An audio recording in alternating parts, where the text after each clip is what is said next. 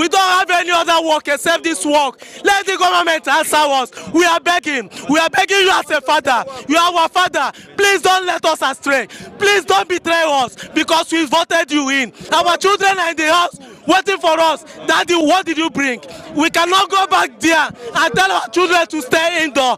We cannot go back there to tell our children not to go to school. Government, please answer us. We are begging.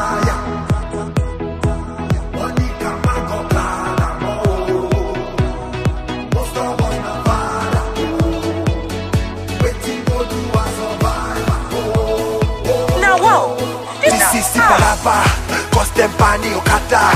Everybody confused, everybody shouting, Paula say oh. Most of them na fathers, we get the sons and daughters. Ah, see wahala, awola boy.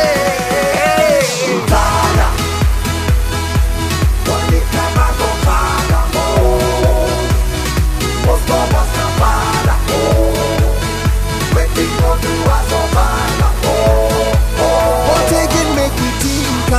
Our government. Them no go fit do anything we go undo Them say all of this na for the best To stop every accident wey dey happen for express before they die yeah. But on the flip side of the story Omo share they let go office Cause of delay caused by traffic. Oh Oga don they worry? And if it fit affect salary How we go do our feeding? Wetin we ah, are is here.